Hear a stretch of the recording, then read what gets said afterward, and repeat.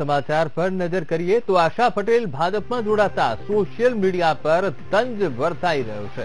આશા પટેલના પક્ષ પલટા પર સોશિયલ મીડિયામાં વાયરલ થઈ છે આ વાર્તા. સોશિયલ મીડિયામાં વાર્તા અને કવિતાથી આશા પટેલ ઉપર પ્રહારો કરવામાં આવી રહ્યા છે.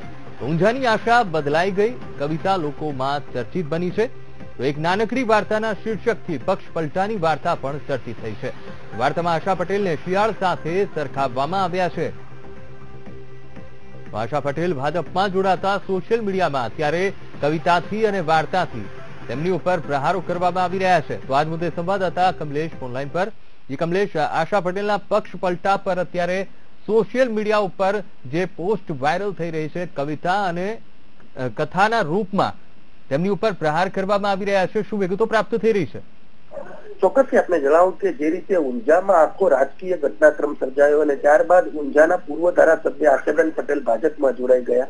તેમના ભાજપમાં જોડાયા બાદ હવે સોશિયલ મીડિયામાં એક ટૂંકી વાર્તા અને એક કવિતા વાયરલ થઈ છે અને આ કવિતામાં આશાબેન પટેલ સામે ખૂબ જ વ્યંગાત્મક ભાષાનો ઉલ્લેખ કરવામાં આવ્યો છે.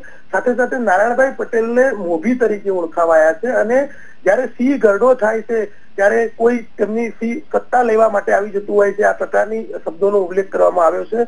અને તો સાથે સાથે આશાબેન માટે કવિતાનો પણ બનાવવામાં આવી છે અને તેમાં ઉલ્લેખ કરવામાં આવે છે કે ઊંઝાની આશા કેટલી બદલાઈ ગઈ. આ ટાઇટલ સાથે આખી કવિતા સોશિયલ મીડિયામાં મૂકવામાં આવી છે.